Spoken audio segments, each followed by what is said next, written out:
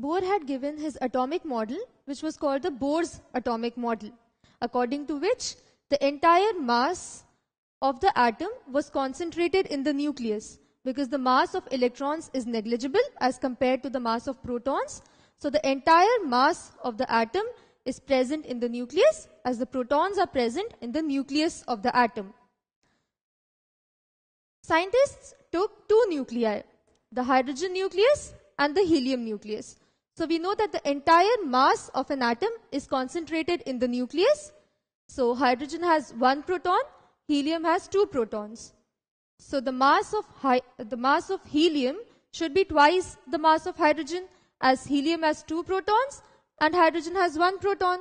But when experiments were performed, it was observed that the mass of helium was four times the mass of hydrogen.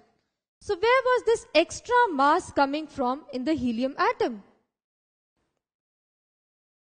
So scientists concluded that there should be some extra particle which is present in the nucleus of the helium atom. This extra particle is giving the extra mass of the helium nucleus and this particle should be neutral because an atom is electrically neutral. The number of electrons is equal to the number of protons. So now if this particle has some charge, it will make the atom unstable. That will, that is, it will not be electrically neutral. Therefore, this extra particle should be neutral in nature. One such scientist was James Chadwick. He was interested and curious to know where that extra mass in the helium nucleus was coming from. So he performed a number of experiments. In one such experiment, he used a beryllium nucleus and he projected an alpha particle on this beryllium nucleus. So when he projected, he observed that a particle was released. He called it neutron. Now he wanted to check if this neutron was neutral in nature or not. So he took this field. This is a field of positive particles. It has all the positive particles in it.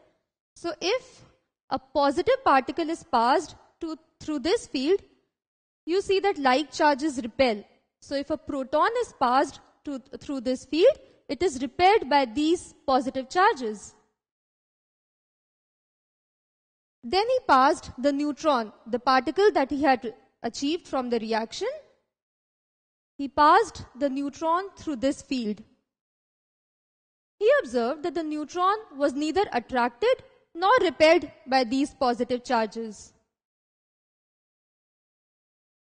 And so he concluded that neutron is neutral in nature. It has no charge on it. And also later by some experiments, it was shown that the mass of neutron is equal to the mass of proton. Hence, the mystery of the mass of helium nucleus was now solved. Helium nucleus has four times the mass of hydrogen nucleus. Therefore, it has two extra neutrons. These neutrons, the two neutrons, make the mass of helium nucleus four times the mass of hydrogen. Since we know that the mass of neutron is equal to the mass of proton and hydrogen nucleus has only one proton. Therefore, these four particles, two protons and two neutrons, make the mass of helium four times the mass of hydrogen. And hence, this is how neutrons were discovered. So this is the present accepted form of the structure of atom.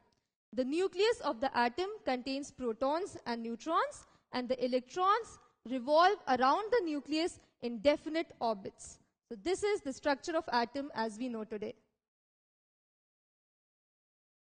The credit for the discovery of neutron goes to, so we know it was James Chadwick who had performed an experiment using beryllium nucleus he had projected the alpha particles and then he had found out that a particle neutron was released which was neutral in nature.